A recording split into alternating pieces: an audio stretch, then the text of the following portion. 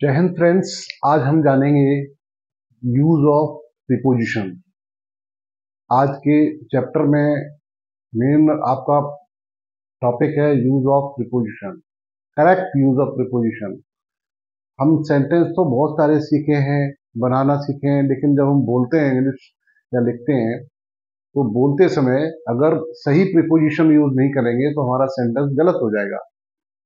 And वहाँ impression अच्छा नहीं जाएगा, गलत इंप्रेशन जाएगा कि आप जो सेंटेंस बोल रहे हैं वो गलत है या जो लिख रहे हैं वो गलत है। तो उस गलती से बचने के लिए हमें रूल जानना पड़ेगा और हमें जानना चाहिए कि सही प्रिपोजिशन क्या है। राइट प्रिपोजिशन का यूज़ कैसे करें। उसमें आज आज के टॉपिक में कुछ अच्छे और इम्पोर्टेंट प्रिपोजिशन है जिनको हम सीखने जा रहे हैं और जिनका सही यूज़ कैसे करना है और किस संदर्भ में यूज़ होता है। किस रेफरेंस में यूज़ होता है, ये हम जानेंगे। तो आप ध्यान से इसको सीखिए, सुनिए और समझिए। सबसे पहले इन जो प्रोपोजिशन है, इनका क्या रोल है? ये जो प्रिपोजिशन इन है, इसका रोल है ये समय के बारे में बताता है। समय जो टाइम है, उसके बारे में। और भी इसके रूल्स हैं। इनका मतलब होता है के अंदर या मैं इन, इनका अर्थ होता है मैं। ये समय का इंडिकेशन है टाइम ठीक है?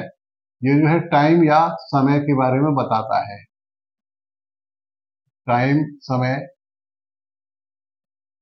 अब जैसे कुछ पीरियड ऑफ़ टाइम होता है वहाँ पर जब यूज़ करेंगे इनका तो वहाँ सही यूज़ होगा। जैसे मैंने सेंटेंस लिखा he will he will come in two hours. He will come in two hours. मतलब वह दो घंटे में आ जाएगा। ये समय इंडिकेट कर रहा है टाइम इंडिकेट कर रहा है कि वह दो घंटे के समय में आ जाएगा। यहाँ पर समय का इंडिकेशन है, समय का जो है समय के बारे में दिया गया तो यहाँ इनका यूज़ किया गया समय के लिए फॉर टाइम ठीक है? और सेंटेंस लिखते हैं, इसके अलावा भी। I can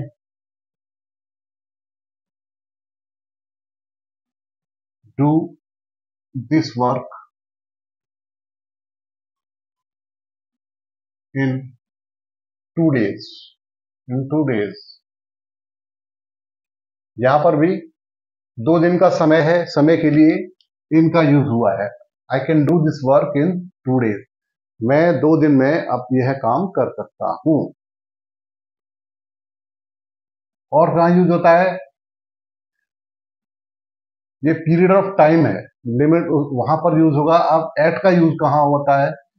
वो भी समय के लिए होता है। एट का यूज़ होता है फिक्स टाइम के लिए। ठीक है? और फिक्स टाइम के लिए वो भी होता है, जैसे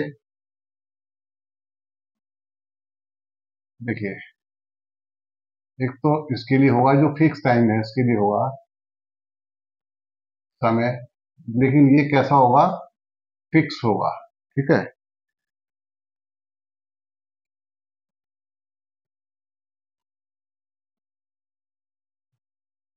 Train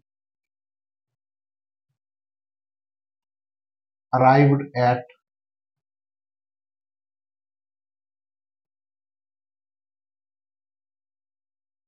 eight a.m. Eight a.m. The train arrived at a.m. रेलगाड़ी सुबह आठ बजे आई the train arrived at eight A M तो यहाँ एट का प्रयोग हुआ है, ये समय के लिए हुआ है टाइम के लिए हुआ है ठीक है ना और एट का यूज़ कहाँ होता है प्लेस स्थान के लिए, ठीक है? प्लेस या स्थान के लिए भी एट का यूज़ होता है। यहाँ कैसे होगा? जैसे जो स्मॉल प्लेसेस हैं, छोटी जगह है, छोटे स्थान है, वहाँ पर यूज़ होता है। जैसे he lives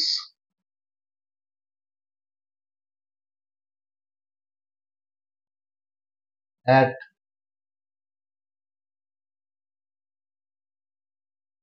village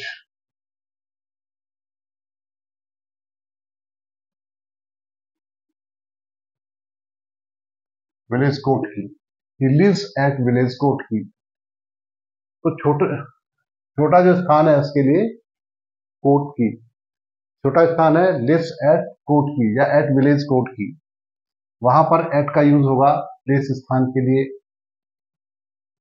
और कहा यूज़ हो सकता है?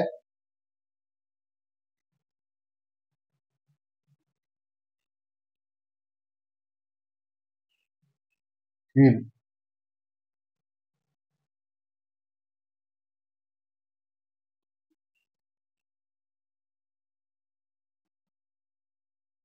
he stood at the gate of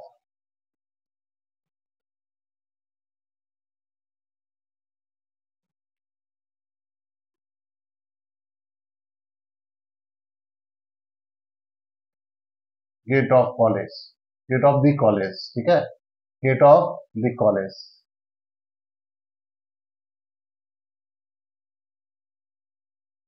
the college he stood at the gate of the college तो यहाँ एट आया, ये भी स्थान का इंडिकेशन कर रहा है। प्लेस के बारे में बता रहा है, ये स्मॉल प्लेस है, इसलिए यहाँ पर एट का यूज़ हुआ है।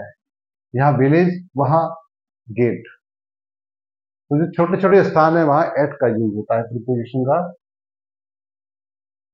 और यहाँ पर जो स्थान, समय वाला, ये ये जो आप जो बात कर रहे हैं,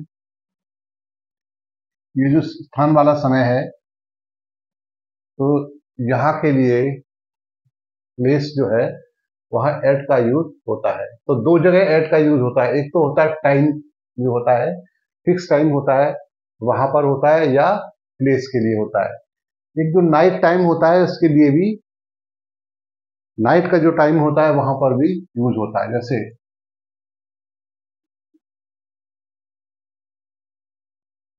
he came to my house at night यहाँ आएगा at night he came to my house at night in night नहीं आएगा at night at night क्या है वो एट नाइट जब रात स्टार्ट हो रही है फिक्स टाइम है। ठीक है? एट नाइट तो नाइट के लिए एट का यूज़ हुआ है he came to my house at night in night नहीं हुआ। इन नाइट अगर लिखेंगे तो गलत हो जाएगा। इसलिए यहाँ एट नाइट होगा। अब हम आगे सीखते हैं, इनका प्रयोग और कहाँ कहाँ होता है। तो इनका प्रयोग जो है, स्थान के लिए भी होता है टाइम के लिए होता है। यहाँ आप लिख सकते हो। Place.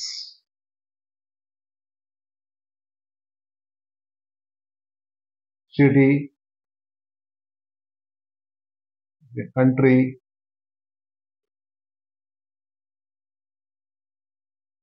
ठीक है? तो उसमें सिटी या कंट्री आता है या कुछ और भी आ सकता है। कोई बिल्डिंग है, उसमें भी आ सकता है। बिल्डिंग आदि आदि, इस टाइप से। तो ये इनका जो यूज़ है प्लेस के लिए आता है, वो बड़े सिटीज़ के लिए भी आता है। जहाँ बड़े सिटीज़ का ज़िक्र होगा, जैसे यहाँ लिखा है, वह लखनऊ में रहता है, वह लखनऊ में रहता है तो यहाँ आ जाएगा कि लिव्स इन लखनऊ। या क्या आएगा? इन लखनऊ। एट लखनऊ नहीं आएगा, यहाँ आएगा he lives in Lucknow in Lucknow ठीक ही लिव्स इन लखनऊ और सेंटेंस देखिए I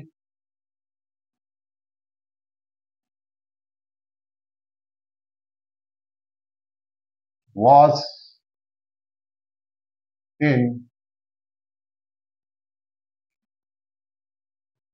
America last year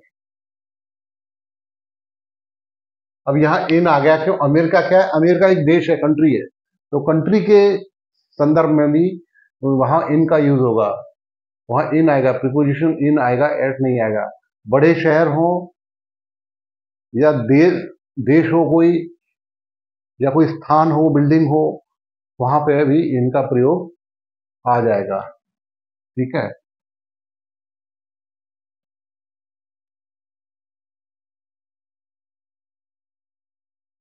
the meeting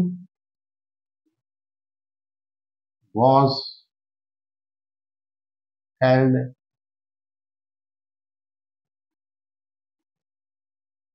in the town hall.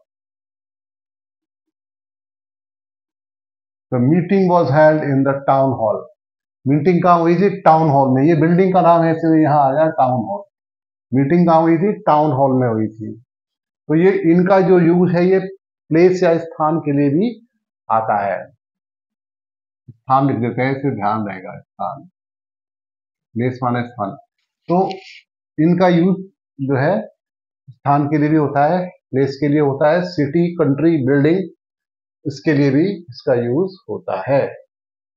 अब आएगा इनटू लेकिन ये इनका प्रयोग जब होता है, जब कोई चीज़ स्टैटिक होती है स्थायी होती है, ठीक है, वहाँ इन आएगा। उसमें कोई मूवमेंट नहीं होता है, गति नहीं होती है। लेकिन मूवमेंट अगर होगा तो इनटू आएगा। ठीक है? अब यहाँ इनटू कैसे आएगा देखिए।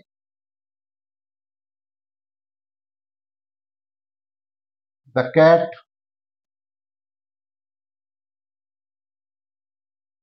ran into the room. The cat run into the room अब यहाँ रनिंग कर रही है कैट जा रही है। आ, मतलब मूवमेंट हो रहा है गति हो रही है इसलिए यहाँ इनटू का प्रयोग हुआ है। और एग्जांपल देख लेते हैं।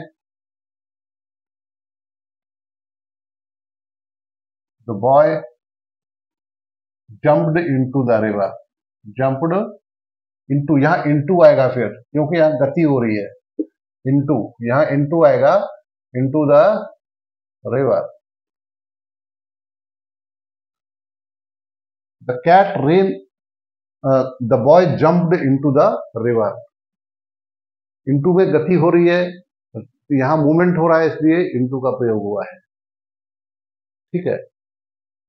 अब और भी एक दो एग्ज़ाम्पल हैं, और देख लेते हैं।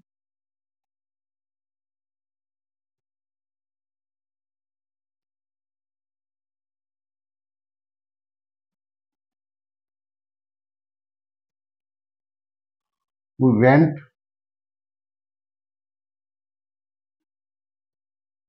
into the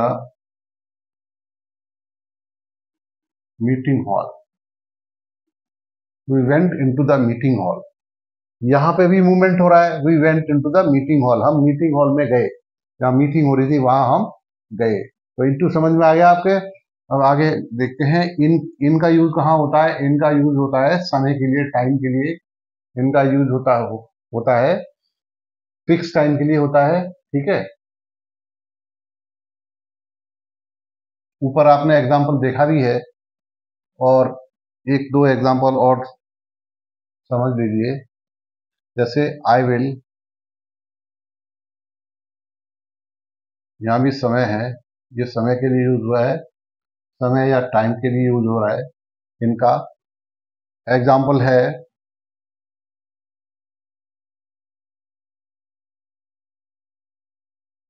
I can finish this work in, या इन आ गया in three days I can finish this work in three days मैं इस कार्य को तीन दिन में कर लूँगा। तो यहाँ समय आ गया। समय की सूचना दे रहा है कि तीन दिन के अंदर कर लूँगा। He will come in two hours वो दो घंटे में आ जाएगा। इस टाइप के एग्जाम्पल्स हैं। फिर है विद इन विद इन का मतलब होता है उस समय के अंदर अंदर, वो उसमें सीमा बदी होती है फिक्स टाइम होता है कि उस लिमिट के अंदर ही आना है, ठीक है? उस लिमिट से एक मिनट भी बाहर नहीं होना है, वहाँ विद इन का यूज़ होगा, ठीक है? देखिए for example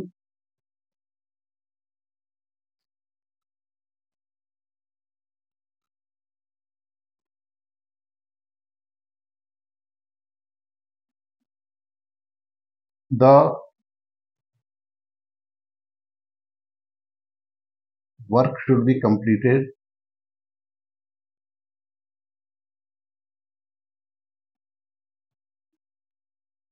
the work should be completed यहां आएगा within within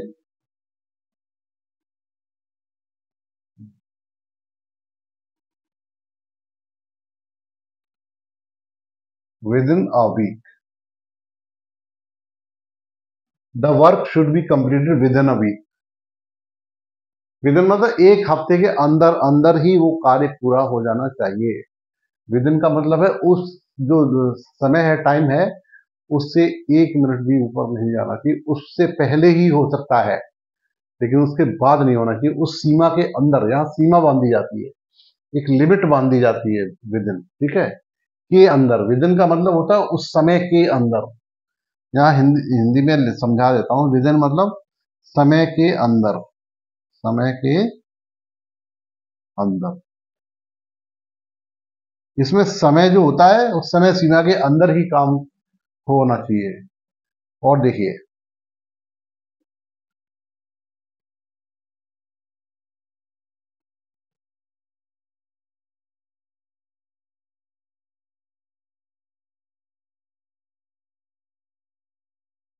he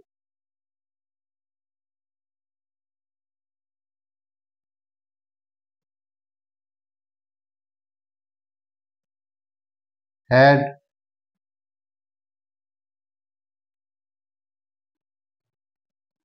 written the story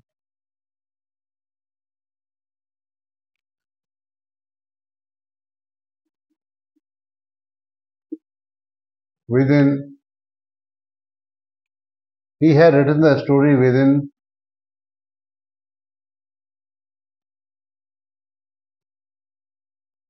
three days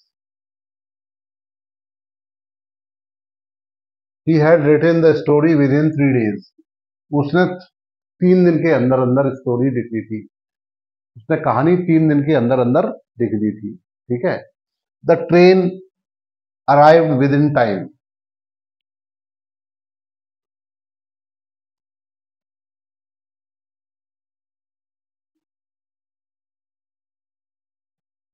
the train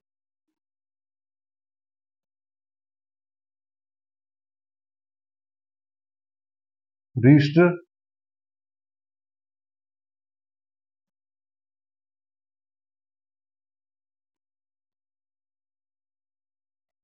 the station within time.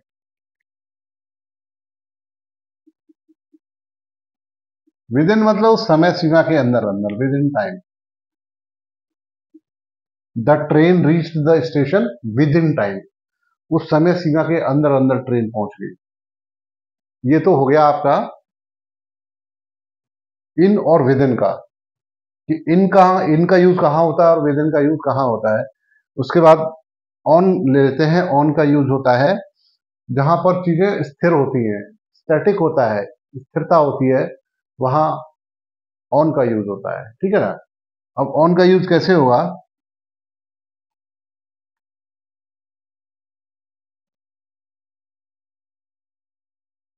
The cat was sitting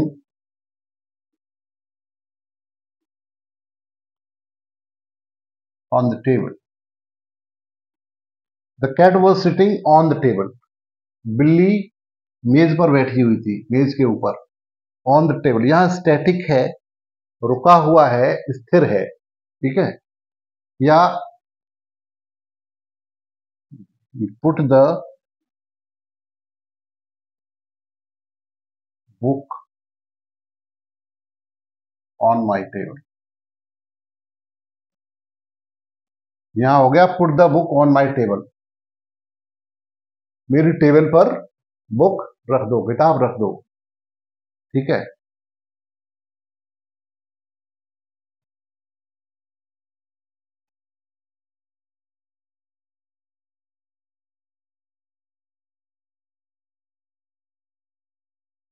I was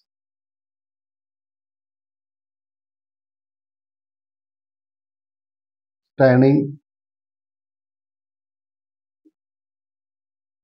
on the road मैं सड़क पर खड़ा था। I was standing on the road मैं सड़क पर खड़ा था। यहाँ भी ऑन का यूज़ हुआ है ऑन का यूज़ हुआ है के ऊपर या पर। ऐसे मतलब सड़क पर खड़ा था। किसी स्थान पर वहाँ ऑन ठीक है? ऑन द रोड अपॉन क्या होता है? अपॉन में जहाँ मूवमेंट होता है, गति होती है। ठीक है? ये कैसे होगा?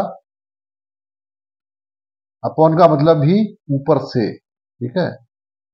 यहाँ होगा ऊपर से गुजरना, है ना? ऊपर से कोई निकल के जाता है, गुजर के जाता है, वहाँ ऑन होगा।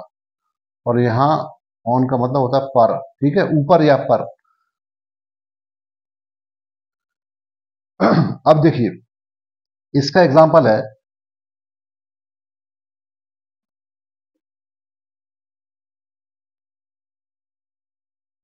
the monkey jumped upon the chair. Upon आ गया यहाँ पे। The monkey jumped upon the chair. Chair के ऊपर से कूदा। बंदर चेयर के ऊपर से कूदा। कुर्सी के ऊपर से कूदा। ठीक है?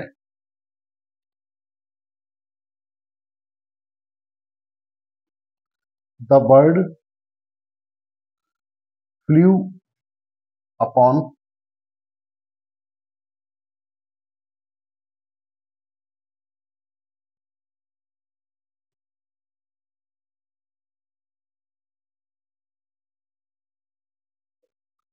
the bird flew upon the roof roof माने छत। बर्ड है, छत के ऊपर से उड़ी। यहाँ पे भी मूवमेंट हुआ। फ्लू मतलब उड़ गई। The bird flew upon the roof तो इसके अलावा और भी प्रिपोजिशन है, वो भी सीखते हैं।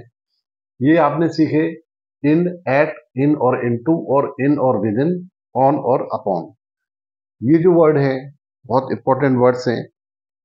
और सही प्रिपोजिशन का यूज़ इसमें हुआ है। तो आप सीखे होंगे कि राइट प्रिपोजिशन का यूज़ है राइट यूज़ कैसे होगा प्रिपोजिशन का? वो है। इसके अलावा अभी और हम मैं आपको सिखाता हूँ। तो आप रेडी रहिए, सीख सीखते जाइए मेरे साथ। आइए, सीखते हैं।